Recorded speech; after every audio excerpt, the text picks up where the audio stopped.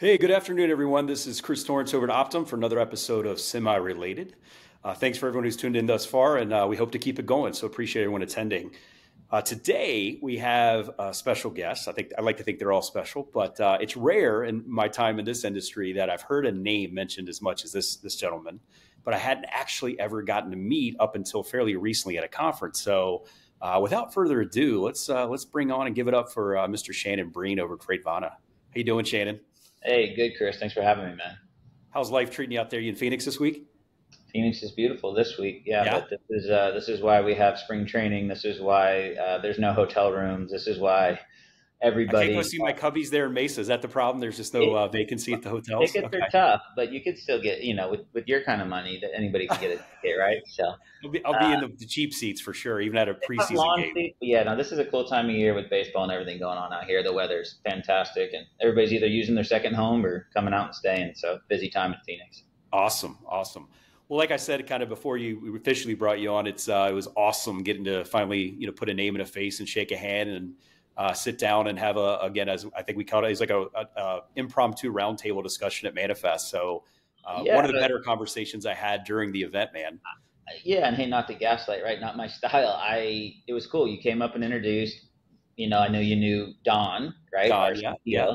Um, you and I had never met, never met Peter. Um, yeah. And then that led to that that con- and that's what I kind of share with people on conferences, right? I don't know your experiences and stuff, but it's like I know everybody does like the speed dating, like oh I got 90 meetings, right? I if I look back on my decade or 12 years now in the business, and I think about conferences, my best experiences are like the ones you and I shared. They're all organic. I, yeah. It, it, had run on a calendar. We had a convo. It was quick. It was like, what are you guys doing tomorrow? Let's eat lunch or let's meet up. Yeah.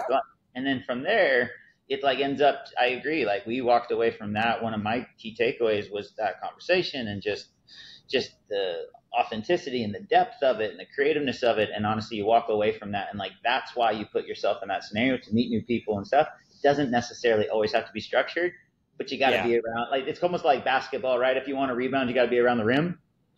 Amen. Yeah. And and so and so i feel like conferences have always been that. And then i also feel like hopefully from a branding and the way we show up as a company, like there are people that know us that we've never met.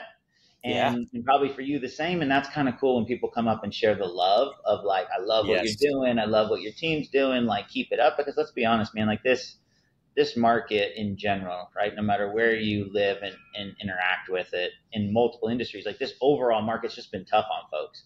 So to get that like love and appreciation and, and have people that are like fans that you don't really know, I mean, it, it does boost you up a little bit as you work through this really challenging kind of economic time.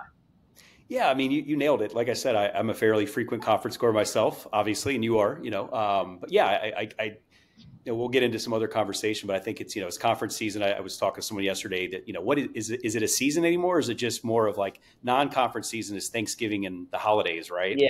yeah. But basically, as you've already seen, we've already been to a few this year already, and I'm not maybe a little lull in the summer. Um, but man, it's just like it's constant now, and I think that's good. I think it's a post-COVID kind of like this this eagerness to get back out there and um, you know meeting people like you. Like this is great, this virtual environment. But man, that you know just being able, like you said, to all the Shannon, what's up, and, and being able to kind of see some old faces that you know, but also those people you may have interacted with on you know remotely, and being able to finally see them and get to know them as people, right? I think that's the other thing. You know, we're all people, and I think we all, you know, business and logistics, trans, et cetera, brings us together. But man, I, I think that's how in my career, most of my you know lasting relationships. I don't even know we talk about work as much anymore because it's just no. people have so much more depth, right? So um, some of my I, best I, friends I met early stage on conference, right? I had this really cool boss. Um, and I'll be honest with you, culturally at the place I was working, it wasn't really supportive of people going to conferences unless you were in the C suite, right? It was a yeah different type of culture. You had to earn uh, the right. I was when you're when you're younger, it's like you know you envision a day you may go to a conference and that's corporate, right? I mean, it, I get it, but it's uh, yeah. Irony so is when I talk to when you talk to executives, they all laugh. They go, you know, we, we all know each other. We've been coming to this thing for 20, 30 years and they're there for, you know, again, there's, there's learnings, but how much are you going to teach somebody that's been in the game for this long? But for them, it's more of like getting to meet up with their peers and have a little social time, which I understand. But the irony is that the next generation, a lot of corporate companies, they never realize maybe we should introduce the next generation to these events, right? So, you know, then there's a well, chuckle. And, and, and, why not? And why not, Chris? Right. So two yeah. things, in my opinion, right? And, and you, you, you kind of know my style from the multiple times we've hung out. Yeah. Two reasons why they don't. One, it's risky because yeah. what if that person, like, if that person's really good, we'll keep them. Hey, we don't want any. We don't want the world to know. Or right. secondarily, point. Yeah. we don't want them to see what the world could look like outside yeah. of these walls. You know, I've never heard it put that way, but you're right. I guess that's, uh, and if you think about it, especially in a down market, some of these conferences effectively act as like this pseudo career fair. Um, and, and just being in the startup game like you have, you know, it's not uncommon for people to hop around a little bit from time to time. So the joke becomes like, hey, it's so and so I know for a while. Where are you at these days? And the only thing, you know, you know them, but their business cards changed. And I think that's probably a lot of that's due to the exposure of going to these events and and being able to really check out what's there, finding people that you really, you know, you're interested in meeting. Never know where those conversations go. So, but that's great points. I've never heard, you know, from a corporate like this idea of we've got to keep our talent protected and we don't want to expose them to other like other potential competitors. Like, which no, is, which, which, is, which is this the, the and hey, that's the that is culture, right? When people yeah. talk about culture, they want like certain things. To me, what we just walked through, that's corporate culture yeah, right? I like to think there's exceptions, but you and I both have had experience in that world, and I think more times than not, you nailed it. Just the there's a different mentality entirely, and you know that's where my wife always says, "Chris, are you going to go get a real job one day?" You know, and I think she's probably insinuating I need to get into like a another fortune type company, and I'm like, I just I'm having so much fun, and I love the autonomy and the latitude. So hey, it's not for everybody, and we can kind of touch on that. You know, startup life that'll be a part of today's conversation. I think is just yeah. You know, people. I think people always assume the grass is greener, and so as I often tell these younger folks, like if you're used to having a manual and an SOP for everything. Uh, and that's how you operate. I was in the military, so that's like the epitome of like there is structure and chain of command, et cetera, right? Um, so maybe it's not for you because your first day might be like, uh, I, you know, here, here, I got, you know, we're busy. Uh, here's the hot seat. You know, we'll help you when we can, but we're building something. We're going fast, and some people thrive in that. But I've seen others that assume that's what they want. And they get into it, and it's like, hey, I've got you got too many questions. They're not really a self starter. It's like I don't know that you made the right move. Um, I, I, think, yeah. I think, and yeah, I think you. It's funny you mentioned that, right? And then there's this like weird inflection point where you've accomplished certain things, but to your point, it's far from perfect. Yeah. And then you get a large group of people being like, well, this is broken, that's broken, this is broken. I've had people be like, well, I'm just flagging it for you. I'm like, hey, it's all broke. right? Like, like, and, and, hey, I don't need flags. I need yeah. solution engineers. Yeah. I need right. you to flag, but then tell me how you're, what are you doing or what do you think specifically? And this is where people struggle. Chris, right. And I don't know your career. I'd love to know your feedback everybody can be a flagman or woman. Yeah, plenty this of problems. Is wrong and that's broke. this is broken and this is improved. And then you sit down and you say, "Cool, write me a solution. How you do it? How you'd run it through?" Oh no, I was just flagging it for you.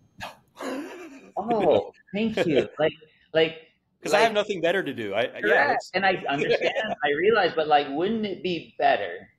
Yeah. If you had a proposed solution um, mm-hmm. And a mm-hmm. lot of times that ends up falling like in my in, in in these walls, like back on me, and your work maybe back on you, and you find this right. weird scenario where you're like, I'm looking for the people that can flag and solve. And and then to your Absolutely. point, some people are comfortable with that. Some people just want to let you know what's broken. And I think that's just nature. I think it's humans. Um, and you see it really quickly in an org of like that dichotomy between the flaggers and then like yeah the doers, and then it's this weird thing in the middle where I don't think either group sees each other, right? And so yeah, I think that's naturally what I've experienced my entire career. Uh, certainly not uh, immune to that in current state, uh, and you know where I sit, it's uh, frustrating, but it's exciting. And like I always we use this line around, you know, at least I use it with a lot of folks. Use it this morning, right? Like progress over perfection.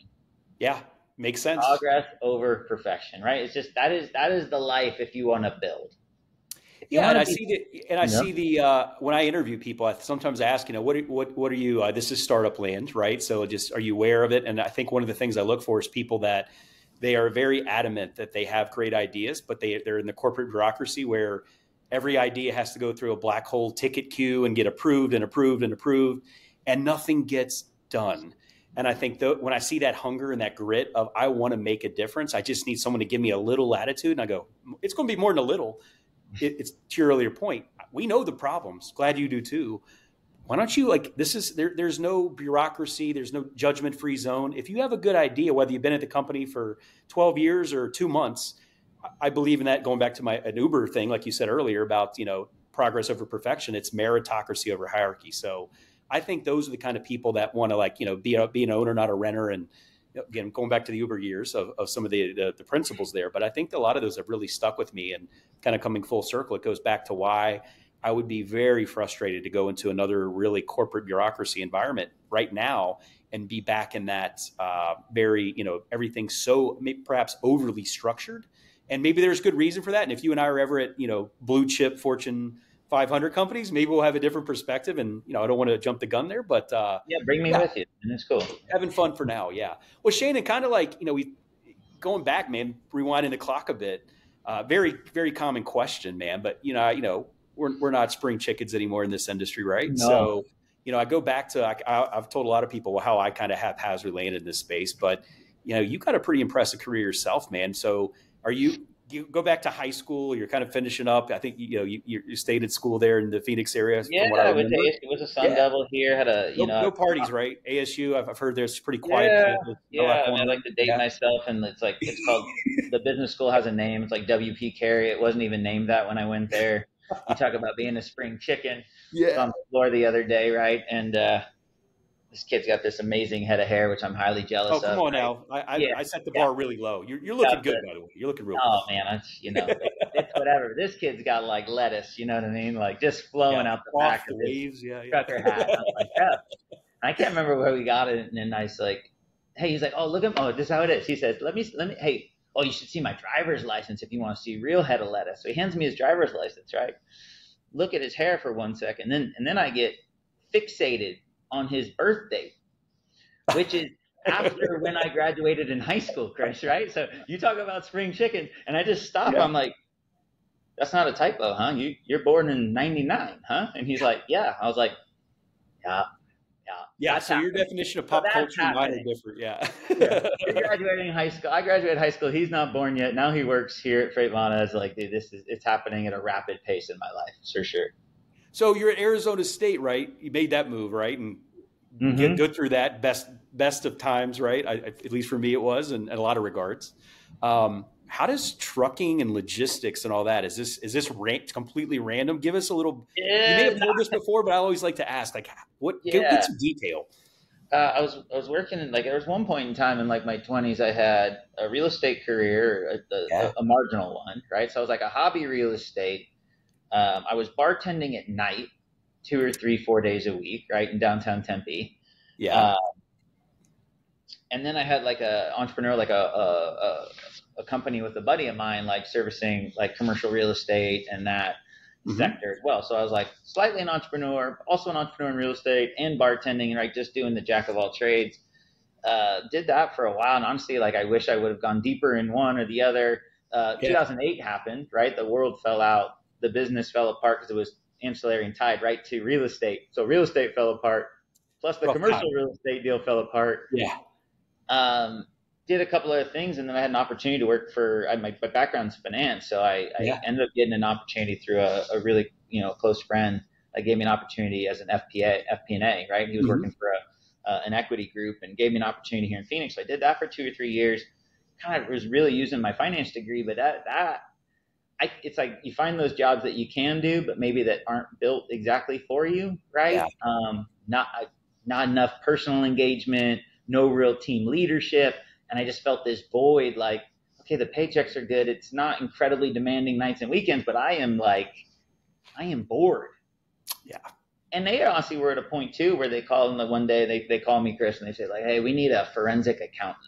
And you couldn't have said anything like it was, it was, it's a blessing, right? I could call one of the guys and I haven't talked to him in years, but like I'd call him and be like, Hey, that was the best blessing. Cause then I end up calling. So you want to know the transition to transportation? Well, a good buddy of mine I went to high school with had, had joined Knight Transportation right out of college.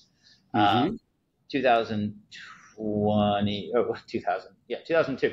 That's when we graduated. He'd started, worked his way up, back offices, and that. Well, now we're 10 years after that, right? He just joined the yeah. company on like a news clipping. Well, uh, that kid is now, as of two weeks ago, the CEO of Knight Swift. Wow, I've heard okay. of that. They have yeah, I've heard of them. Yeah, and, and obviously that's where I work. But you know, so he had just become. Honestly, we hadn't even done the merger with Swift, none of this stuff. Yeah. And uh, him and I had talked. He got me interviews, uh, met the folks. Really loved the opportunity to learn and, and started just from the ground, not the ground up, but I mean, booking loads, managing yeah, customers, awesome. knew nothing about yeah. logistics, knew nothing about the terminology, like everybody when they join, right? But I right. just love the pace and the people, and I love the yeah. chaos, and I yeah. and I kind of was hooked. So in 2000, uh, summer 2012, I joined, worked my way up through the ranks, uh, worked on tech systems. We did the merger with Swift, had opportunities mm-hmm. there, intermodal. Right. Um, did all the things and learned so much in 10 years there and then and then honestly decided with with john to to step out and create yeah. uh, the brand freight Freightvana from scratch and uh, you know still working on that history uh, yeah. story. But to your point living kind of i always say like on the sahara right? Where you don't know where your next meal is going to come. I mean honestly it suits me. Being an underdog suits me. Yeah. um, i never really while I was super productive, I always felt like I was like the go against the grain person. And at mm-hmm. some point, right, I had a mentor and you just kind of, that honestly wears on you at times and you wonder what that looks like long scale. And I had a mentor that was basically like, Hey, either you're going to figure out how to change the thing or it's going to change you over time. And well said. Yeah. That month, some, some personal stuff. I was like, Hey man, why don't, why don't I go chase this dream? So, uh, left in 2021 and middle of 21 kind of brought together the team and we've been doing our thing here for not quite three years yet. So yeah, man. So I love the you know my I have a fairly non-traditional background and kind of won't go into it, but not not too dissimilar from some of your path. And you know I think whether you're in the real estate game, bartending, right? We have one of my best guy uh, in terms, uh, you know, one of the best guys I've ever worked with to do demos was also you know he's got like an MBA PhD guy that went to serve drinks at uh, the Ritz Carlton for a few years. And man, it shows, right? He's so personable, and I think that's as a guy that's doing technical sales and demos, we you know it's sometimes it's try you try to stay awake. Uh, right. He has such a great finesse and a great blending of the art and science and knowing people and reading a room. And I got to imagine that's benefited you. Just things that you may in the in retrospect, you go maybe you know at the time it's having you know I'm serving the I'm in the nightlife, serving drinks, doing big deals in real estate. Uh, and you look at where you are now, and you kind of, for me anyway, I kind of look back, and it was that was all kind of fate or by design because it certainly equipped me with some skills that have nothing to do with like learning the business and the industry, just those soft personal skills that I think as you ascend into leadership, as you clearly know, right? Those are those are things that I now look back and say, like, I'm so glad I got that exposure and that oh. experience. Not saying it was the long term path, but you know, it, it definitely has equipped me, and I can tell already with you, man. Oh, it's, it's served I, I well. don't.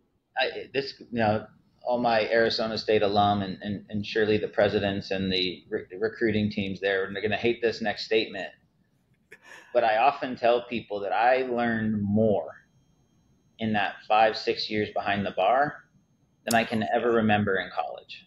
Yeah. And that's just truth, man. That's just truth because look, college doing the thing like every kid got these math things. I don't even know if I use that math anymore.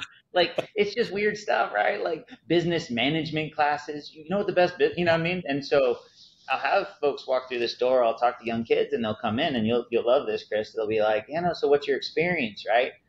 And and you see their like head and their eyes go down, right? Little bit of shame. Yeah. Right. Little bit of shame, like, well, I, you know, I work in hospitality, or I I work in the oh, restaurant. Yeah. I look in the, I, you know, I just I, I I bust tables, and I'm like, hey, stop right there. Like, and I tell them my story, and I tell them like wear that with honor because you are getting real life experience. And especially, I would say this, Chris, and, and now we're going to really date ourselves. Amazing experience. But what has vastly even changed since you and I were young lads in our early 20s? Those cell phones that everybody's yeah. so enamored with, people, if you thought the skill was hard back then, if you thought the skill was valuable back then, like yeah that's aged like Netflix stock, right? Like today, today the ability to do that's like, oh my God, like 20, 15 years ago. But today, this is worth ridiculous because all I engage with is these short clip it like everything is my yeah. my phone. I can't I don't even know how to look up. And I spent six years, to your point, reading rooms, multitasking, yeah. angry guys. You've seen it all, right? Old ladies, yeah. right? Like you've seen it all. But it's uh, not that different than what we deal with now. And I mean, I wear I'm in a sales environment quite a bit, man, and it's right. just the parallels, right? Because if you can't, if people are going to be picky, it's typically at the most granular level, food and drinks. That's the one, and you know that from restaurant and bar business, right? So if you can appease people when they're that, you know, that demanding, it kind of like again that skill will absolutely yeah. come into play in the best of ways when you're even if you're selling enterprise software right it's like at the end of the day people are still people you and I, I i love that because i try to it's hard to explain to the next generation that we just there was no swipe left swipe right you know, I, and when you see a, younger folks now, and I don't want to generalize, but sometimes it's just like, hey, we could be having a discussion, but we could also go on just text and send chats and messages. And I'm like, we have somehow gotten so far away from that that I agree with what you said. If that skill was important then, now it's such a differentiating like attribute because there's not as many people that can just get out there and have that confidence and those experiences that have taught us how to engage yeah. with people of different backgrounds and different personality types. So I'm with you, man. I, I am invaluable.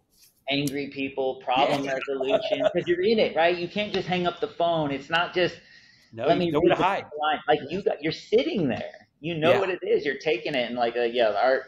My, you know, one of my most special people here, Andrew Zazimovich, right? Same yep. thing, restaurant background, and we've always kind of shared that bond. And he's he's uh, undoubtedly my, my number two, and I, you know, he's a lot younger than me, but like I see where he's at in his career, and a lot of that we talk about it, like that restaurant thing.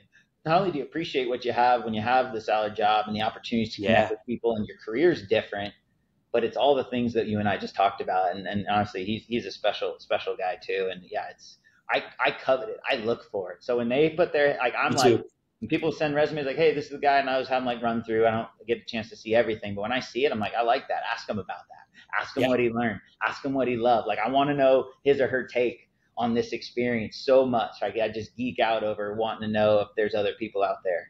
And that's the you know we're in a business that you know, and again, I I, I applaud those that had much more intelligence or discipline than me to get into the Ivy leagues and you know go to these fancy schools and become consultants or whatever. Like all due respect but I do think in this trucking business and logistics, right? Most it's it's very blue collar at its root and requires a different skill set that you had you have to have exposure to various walks of life, right?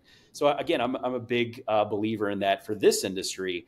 I'm honestly, if I'm looking between the Ivy League grad that's got all these internships at fancy places and seeing that kid like you just mentioned, you know, the I, am a hustler. I had to figure it out. You know, I, I have street smarts. Uh, I didn't have the financial opportunities to really take a path that some of the other folks have, and I fall in that bucket. And like to me, that's the ones that I, I, honestly gravitate towards more, probably. Despite it's not about a resume, right? It's more about just me sitting with them and really getting to the core of what drives them, what what fuels and motivates them, and understanding their past and how that can equate to like some of the roles that I look to fill. And like, I think that I think you're going to fit just fine. Yeah. Don't worry about the rest. And you put us both walking a really weird line because we got some pretty you know important people in both of our orgs that that are on that Ivy League train. So when this goes oh, live, like I, I, yeah. I, expect us to get internal hate mail. That's um, fine. From, from I, hey, look, I'm, I'm, the guy. They, I have. If I offer any skill to most companies, it's I just I know just enough. Like my brain's just good enough to be able to interpret some of this technical jargon.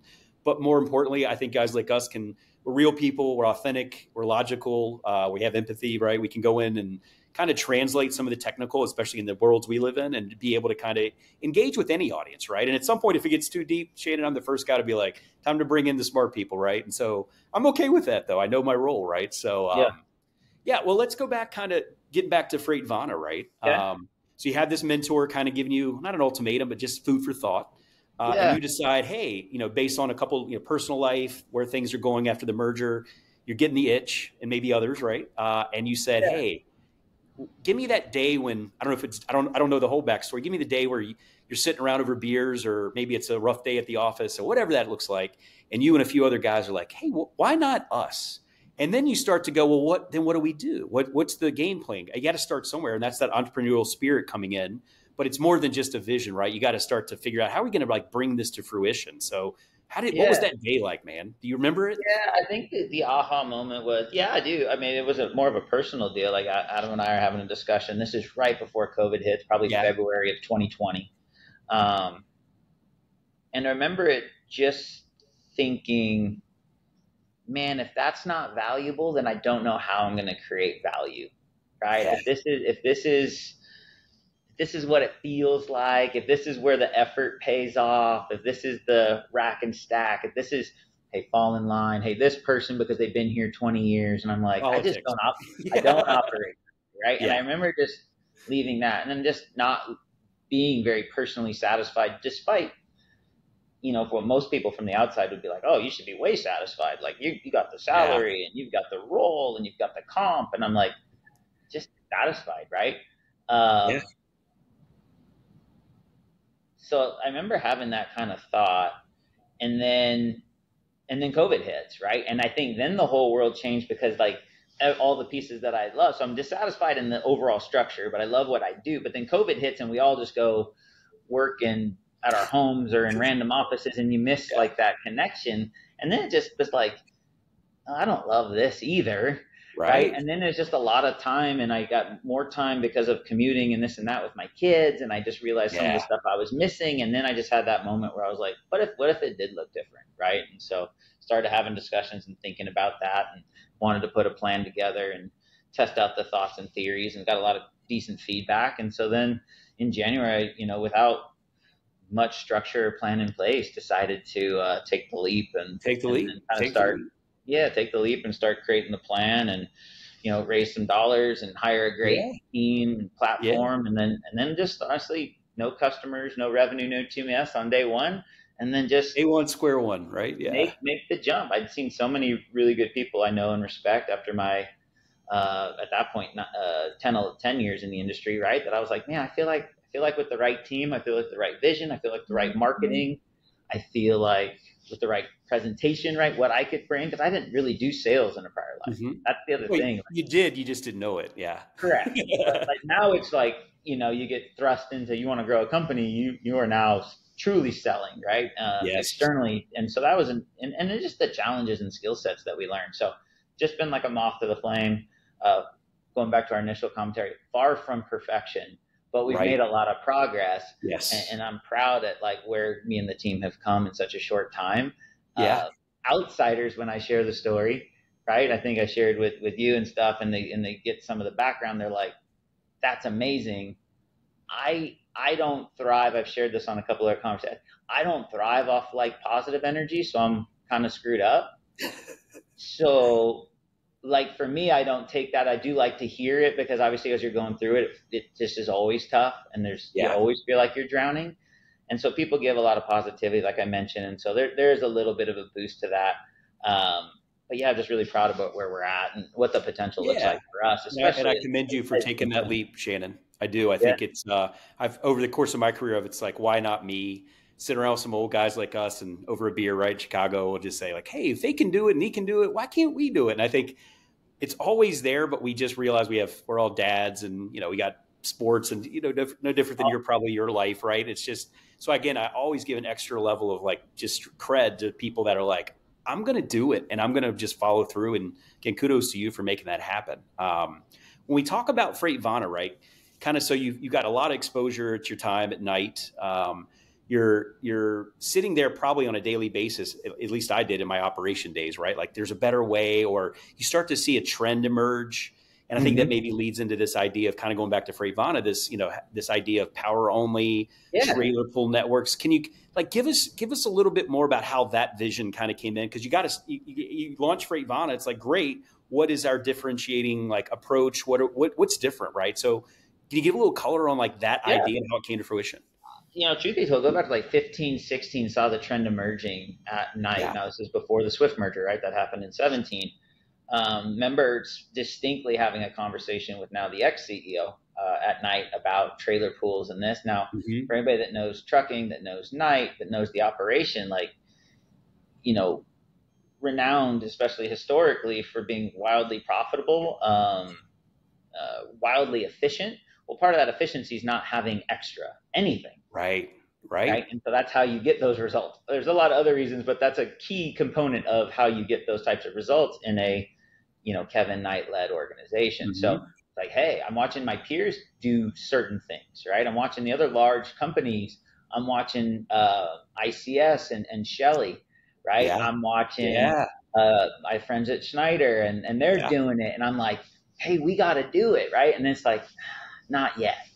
And right. I don't think we have what we need. So it was kind of this like, not no, but like we got other things and I don't hurry up and wait. Yeah. Yeah. yeah. Hurry up, whatever. And so kind of like ices it, right? We do, I mean, hobby at it, not even close. And then so we do the merger with Swift. Well, the, the issue, or not the issue, I'd say really more the opportunity at Swift was, mm-hmm.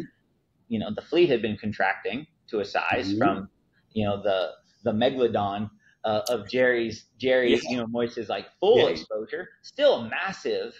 But mm-hmm. as as the fleet had done some shrinking, albeit still the largest over the road trucking fleet, you know, uh, yeah. in credit to them. But what they end up having through all the mergers and all the stuff is this abundance of extra equipment. So after digesting the merger, getting through some stuff, I remember flying home distinctly from a conference, having some free time, some creative time, and being like, now's the time. And so I put together a full like presentation deck uh, for Adam, and I said, now we got to go. I got to build a team. We got to do this. And he was fully supportive. And so we leaned into that, um, built the team, got the buy-in from the external org, had yeah. the additional equipment, so no one could really like contemplate like, well, it doesn't work. It's like let me let us let us do it. Yeah. Um, and then so just started to get that muscle memory built up, and and you know, all, like anything that you build, right? Highlights, lowlights, um, pain points, learnings. Like, yes. like what an environment to learn in because like let's be honest, like you got a billion dollars in free cash sitting behind you. Your company's making half a billion dollars a year it does show as a growth engine. You're you're sweating and utilizing equipment that was essentially underserved. Like it's it checked so many boxes. Like it was, and then Adam in credit as well as some of the other leaders in that org alongside me. We're we're we're wildly positive and supportive. Yeah. So got a chance to really do that. And so when we thought about, and I thought about, we thought about doing Freight it was like, okay, we learned a lot, but like what doesn't work? Right yeah. even inside the infrastructure of the large right. Like what worked, what didn't work, and right, like so many business plans or business people that you've met, they have some nascent experience, and then it's like, what could we do better? Mm-hmm. What are the advantages, disadvantages? And so I just was like obsessed about figuring out, like, well, what if we built this from scratch and we wouldn't have these benefits, but we'd have these benefits, and like, and then really emerged as one of our, our core offerings, um, in addition to some tech stuff that we offer uh, to our partners and, and honestly answers a lot of problems uh, in yeah. the, in the industry and this really interesting segmentation. Um, a lot of people want to do it for like the marketing and sales aspects. You're you're a sales guy, you get it. I totally get it. What they don't understand is the operational aspects, yes, uh, and the fundamental aspects. And, and I talk to people about it. It's like, hey, I hear you, but you may not fully understand what you're getting into. You know what I mean? It's uh, that it's that to, idea of is it feasible, right? And I think that always, you know, it's interesting you mentioned that. I was an operator for most of my career, and even now, when I go people I've worked with for the years in a more of a go to market capacity, right? They go, Chris, I don't care what you're, you know, maybe selling or whatever, but you're an operator. You you're you're one of us, right? And I take that as a compliment. And anyone who's in our industry, uh, you know, not to diverge too much, but that experience of being able to really sit in an operator role for many years, over a decade it got me to, you know, I asked the same questions you did. Like, here's what's working, but I also see some things that aren't. And again, going back to the corporate world, I was like, I just don't know what what is the what are the chances this gets really addressed anytime soon. But I, you know, my my recommendation, kind of bigger picture, is these, you know, anybody that's going to go into a commercial or sales type role, having some understanding of how the business actually works, this industry, right? People, a lot of tech, and is guilty of like you know, we hear the same thing, right? It's fragmented and it's so siloed and archaic. Yeah, there's some truth in that, but these are the same founders that always say, "Have you ever seen the back of a 53 102 wide van?" You know, and they're like, "What?" And I'm like, "That's a good place to start because you're just being you're being theoretical or just based on aggregate type of you know whatever you scraped off the web and riding that bandwagon." So, you know, one of the things you mentioned, Shannon, it kind of ties into this a little bit. When we were we were at Manifest, you said, you know, I, this is the one thing that really stuck with me. You're like, you know it's kind of a double edged sword. You're like, I'm at Knight, biggest carrier out there, had all access to this this capacity, this equipment, right? And some of it's underutilized. So you're sitting there like, oh man, I've got this is this is a gold mine, right? But you ran into some challenges of being able to probably influence the right people to really follow through and make it a priority.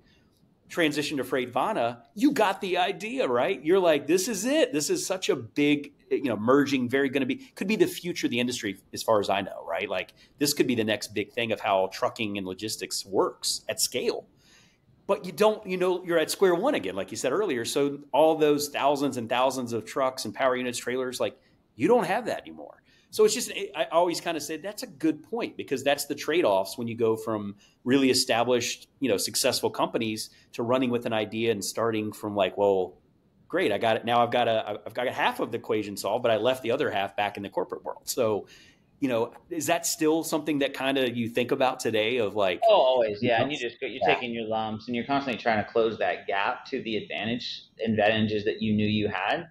That yeah. just takes time. That takes scale. That takes creativity. We've we've bridged some gaps rather quickly. Some gaps, they may not come for years from now for us. That's right. Um, well, talk and, about that. What what do you, Shana? What is what in your time the the three years or so since you've launched Freightvana? What what what can you you know what has been kind of this what would you would you take away as like hey this is this is some great success we've had of course there's another side of that coin we'll, we'll talk about but yeah. based on like what are you proudest of what are some accomplishments and i'm not looking for a laundry list but you know what what makes you proud when you go home every day even after the rough day and go like i'm still in it and i believe in this vision and this mission yeah. and we're going to do it yeah we've quadrupled our team right since we yeah. started We've we've yeah. grown a company. Uh, this this point next year, I, I, certifiably think we'll be in the, you know, uh, runnings for being one of the top 100 in the awesome. entire industry. Uh, we will have awesome. done that, Chris, in the face of uh, freight recession. Absolutely. In the face of right, and yeah. and had done it in a way where it was strategic mm-hmm. and metered, not over our skis. Um, I think it's one of the reasons why you know people are really interested in what we're doing and how we're accomplishing that. Um, also, I'd say internally, right? You got to manage all that equipment. You've got to have different things that you're considering and looking at in the future. You've got you know all the creativity that takes you outside the realm of traditional but we already had some experience right yeah you still gotta you still gotta build on that without the advantages that we talked about so for me it's just the the growth in the face of the other part i'd say is is creating a culture where if you watch and follow our brand, like powerful two, brand, by the way. Yeah. Think, like two things I'd say that, that stick out to me that I'm really proud of that people weren't empowered to do in the last life. One, able to have like their own personal brand that then supports it and a company that supports that individuality yeah. that then can tie back. I think I give a lot of credit to, to Josh on our team, who, who's our director in that space of like, kind of creating this idea in a a la like barstool type mentality mm-hmm. where hey you can have a lot of different personalities ultimately all still work for barstool or, or whatever but it's really healthy to have like different perspectives and allow your people that and that was kind of his yeah. mindset that he did I, I, we fully support it as an institution um, and then I, the last part i'd say is like trailers right when i think about trailers and why i'm so proud is like there's a couple people that like promote trailers but trailers are like a throwaway. You want to talk about transportation being commoditized. No one gives two craps about a trailer, right? Yeah.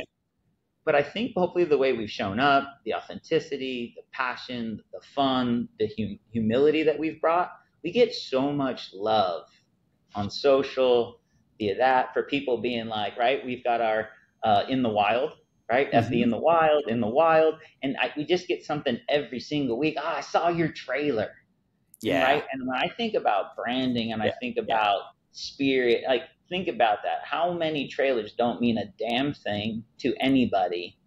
But right. now, because of what we've shown up, how we show up for people, hopefully how we build this business, you've got people that are like happy to see one because when they see it, it becomes this connection back to a, hopefully a group of people that they are rooting for.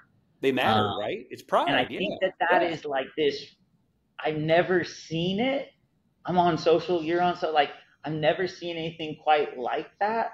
Yeah. Um, and I think that's a really special thing that we've done, and it connects us to what we're building, what we're about, the community aspect. And so that, for me, um, I hold in high, high regard for what we're building, and hopefully the type of like professionals and how we support the industry um, in, in in all of the things that we do.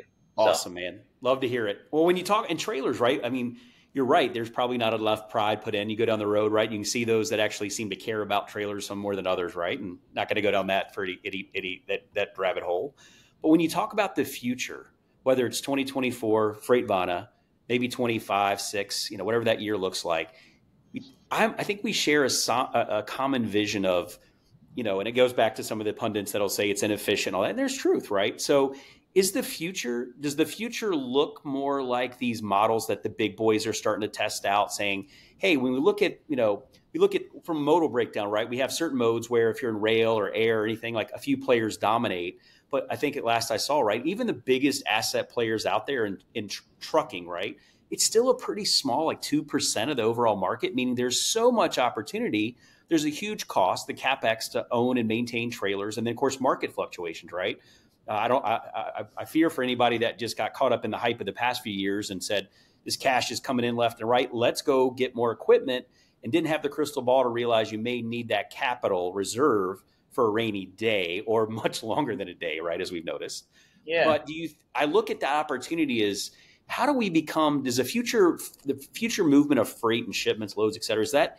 Do you think that's just more of a this massive power only where you, you envision a day where it's no longer live load and unload, maybe with some exceptions, but it's more of like drop and hook networks, these trailer pools that are being shared amongst whether it's shippers or, or fellow carrier consortiums or whatever. And just to me, and again, maybe I'm just I'm oversimplifying it, but to me that just makes sense on a lot of levels. I know there's a lot I don't understand probably because I'm not yeah. owning a trucking company, but I, am with you, man. I just I get passionate about that opportunity in play, and yeah. I, if the biggest players in the industry are pursuing that, I think that gives it merit and validity that there's something there.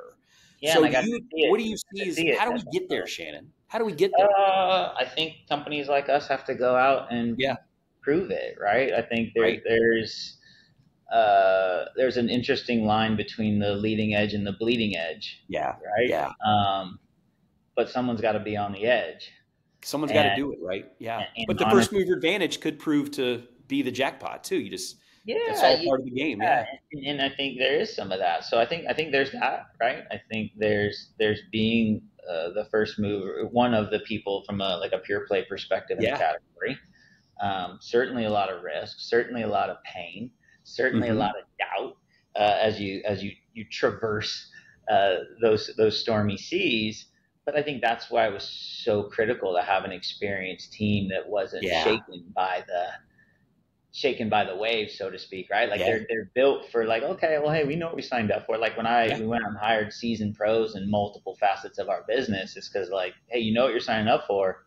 It's going to be stormy, and it's going to be rocky, and and and being able to start with such a foundation like that, it was yeah. critical for us because it's it's certainly not roses and rainbows. And it's certainly not roses and rainbows when you get a historic freight recession that I don't even know you know, I'm not an economist, but whatever, 28, 29 months into the freight recession or decline, like rough. that's yeah. historically long. Um, yeah. And people are still like, it, it's no end in sight. So like you, right. you better be built, you better be built for a certain thing. And I feel like hopefully between myself and the people that we have here, we are built that way. And yeah, I think the future, I, I the one thing I'd contend, I don't think live load ever goes away, right? I don't think there's yeah, the infrastructure. I don't think there's the facility infrastructure. Um. Good point. Around, especially some of these these really dense spots. Like there's people yeah. we talked to today where, I mean, they'll love all the advantages of what we can do and the service and this and that, but they'll be like, but I can't do drops because I, I don't have the space or I don't have the yard or this. So like we That's like to work with bring yeah. them in, but and there's so much of that, right? And I there's I can't cite I can't I don't know the difference between live load and drops as far as market segmentation on the size piece. Yeah, yeah. What you said makes sense. Um, but yeah, I don't think that's going away because I think facilities and, and efficiencies and operational efficiencies aren't built for trailer pools, and you'd have to have so many people change. So, and also let's talk about like different segments. Um, you know, flatbed.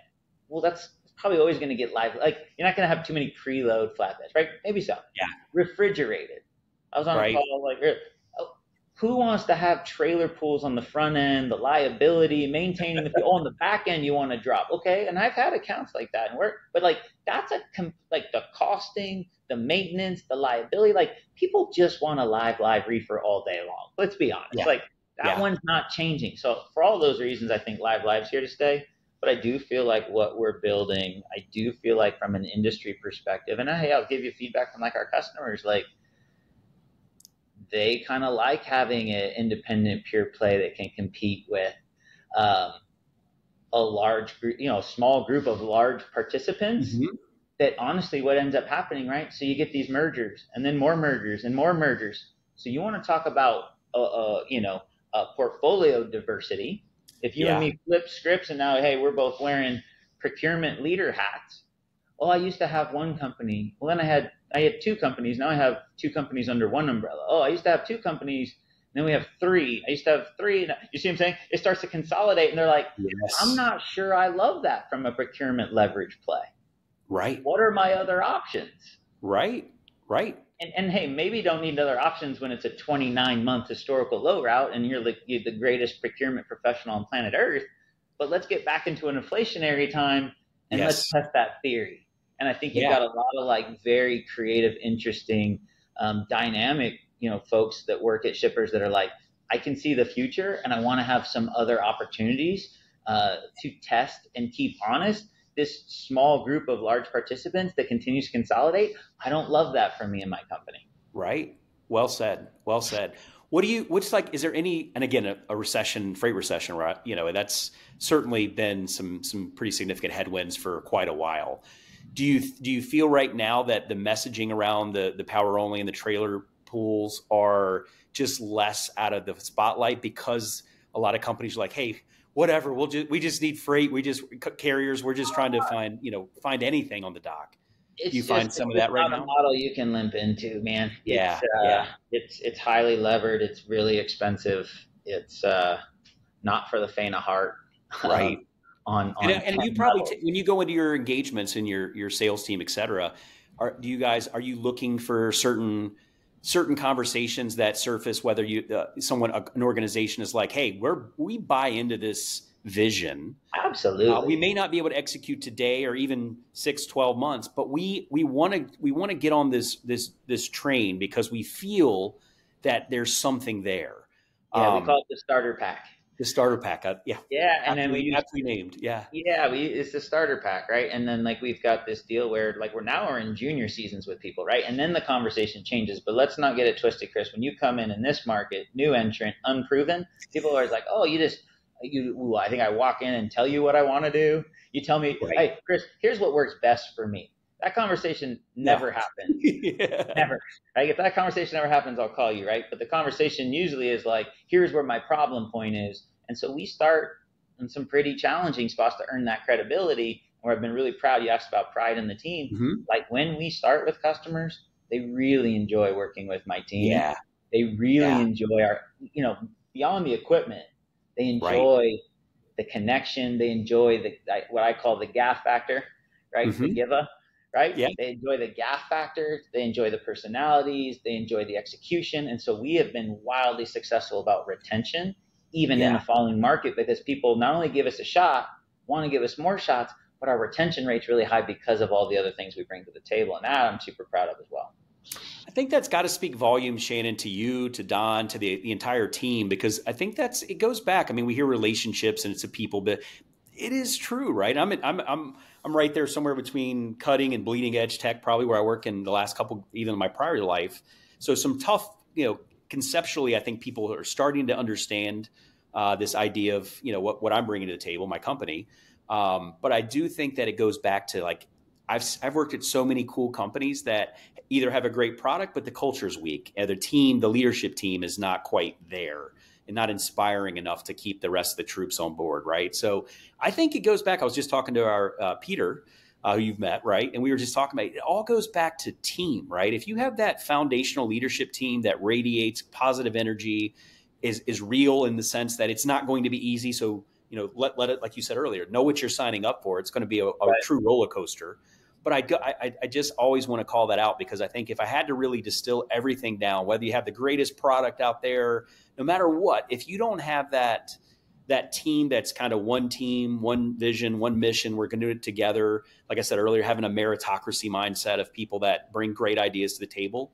Um, I, I, just don't think I've never seen a company really truly successful, at least in my experience, that doesn't have some element of of creating that team and that culture uh, and that sense of you know being uh, they want to be a part of it despite all the challenges. So yeah, uh, gr- glad you called that out. Glad yeah, you called that out. It's a, it's a big deal. That's I think where I've always built. I mean, since I was a kid, right? I've just loved the sports, like like being the point guard. Don't need to yeah. score. Yeah, I don't. I don't. I don't care if I score three points or eight points, but truly just want to win. Yeah. Um, and I think that it's it's odd because I used to have a lot of things that people wanted, and I traded in for that, and so I'm still not driven really by the thing that most people want, which I think mm-hmm. makes it unique and powerful because you can you can really act in a way that is truly selfless because you really aren't concerned with your own personal self gain, and I think right. a lot of people struggle with That's that. leadership, right? Leaders yeah. eat last. You gotta, you, it's easy to read words on a wall and have a manual of our core values, but yeah. man, I tell you, when you're living, breathing, and acting those things, man, I, it, it goes a long way. Especially when I see the younger generations that grew up in a different time than we did and, and value things differently than perhaps we did.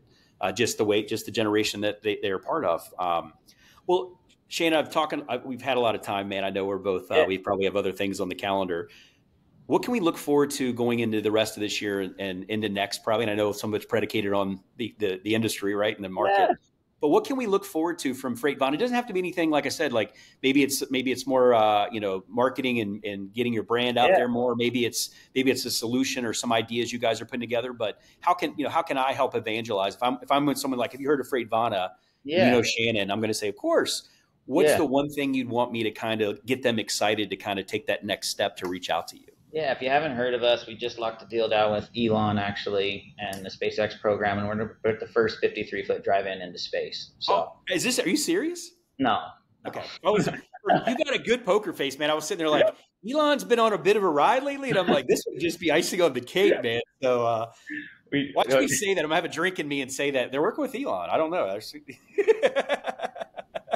I mean, look, first dry van in space, dude. That's not an easy feat, you know. So we're that's proud our, That's our north star of 53 feet top trailer on the moon. Yeah, yeah. You, you, thought trailers were special before. Wait till you see this shit. Uh, uh, no, that, none of that's true. Um, not yet, uh, not yet. Don't don't lose out, man. yeah, it's on the cutting. It's on the cutting room table. So yeah, uh, yeah. No, man, we're just gonna grow. Like we we've got ambitions here for growth this year. Um, we've beat our forecast the first two months of the year despite some of the awesome. challenges.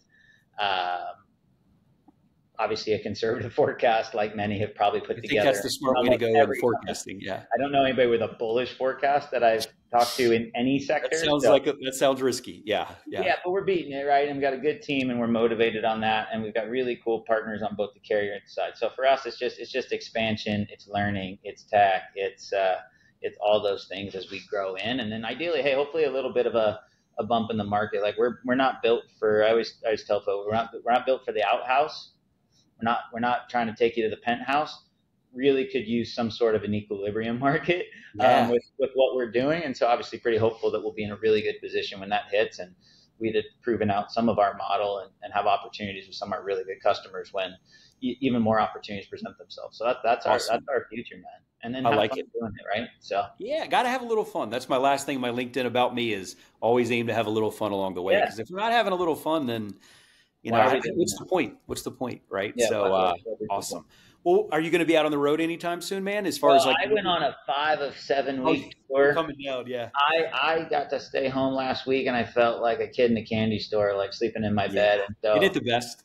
It's the I best. I just, I, hey, once again, as you get older, I, I am not built for the. I got little kids, man. I, yep. I absolutely miss my kiddos. I, I'm in soccer, and my kids playing basketball, and so uh, love that aspect of my life, and it's, it's, it's can't do that from the road. So uh, enjoying Amen. enjoying yeah. that. I don't have anything for a couple months, so I'm I'm and it's really tough here in Phoenix. So I'm going to try to gut it out. You know, um, no dust on the golf clubs. That's still, no, that's still prevalent. Get the hit ball. you know, not to throw shade at all my uh, east of the Mississippi folks, but no, it's it's good. Life's good, and so just good. trying to good, keep it man. all balanced, my brother. Awesome. Well, Shannon, hey, thanks, man. It's like I said, I hope we continue more of these in the future and preferably face to face again. So uh, all I ask is I'm going to be out. You know, you're coming off one. I'm kind of getting back in the the ebbs and flows of some travel, but uh, it's part of the game, right? But um, good catching up, man. I think I learned as much as I learned from you in Manifest. I think this is just more of yeah. making me a, a, big fan of Shannon Breen, and that'll continue. Uh, so uh, you got my vote of confidence. You and Freight love love what you guys are doing, and I think uh, so many opportunities, man. We've talked about some today, and I, I, it's great to see people um, like yourself that kind of have they're realists in terms of what's possible and the absorption rate of our industry, but they also see like if we're not moving the needle a little bit and testing some of this out, and it takes somebody to do it, then we're always going to be viewed as this lagging industry. And I think again, we're the backbone of commerce, man. We're every everything, right? It comes, it has yeah. to move on a trailer at some point. So right. um, the opportunity size is massive. Uh, and I will continue, like I said, to support you guys in any way I can. And um, yeah, man, looking forward to catching up whenever Brother, whenever schedules permit, as they say. Every talk we've had, and, and like I said, as I intro, no gaslighting. You you guys show up the right way. Your team's great. What you guys are trying to accomplish, and think that's the cool part. We talked about the industry and meeting people, yeah. and like those relationships, being able to. And I think there's there's like a gravitational deal where certain people gravitate because of that.